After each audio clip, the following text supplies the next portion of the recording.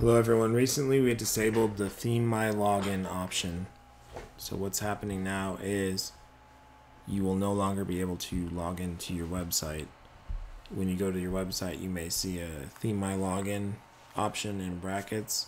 Otherwise, if you're able to go to your website and log in fine, you weren't using this plugin. It's only on about 40% of our websites.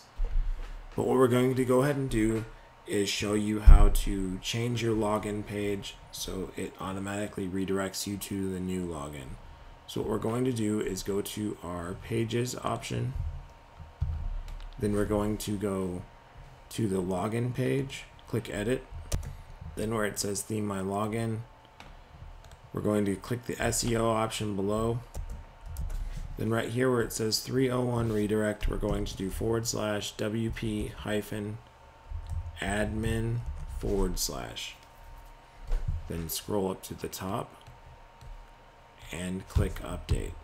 What this 301 redirect does is automatically attempts to redirect a user to your dashboard if they're logged in. If they are not logged in, it will ask them to log in. So what this looks like then once you have it up on your website is this. They click login. If they're already logged in, they see your dashboard. If they are not logged in and they click login, then they will see this page.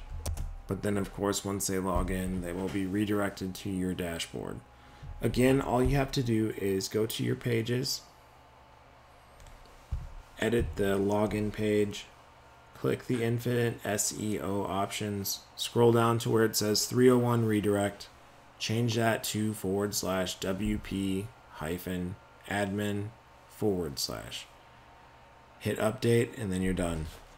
Sorry for any inconvenience this may have caused anyone. For anyone who has recently ordered a custom website setup, feel free to just simply ping myself or Dominic, and we will just take care of this for you. Thank you. Have a good day.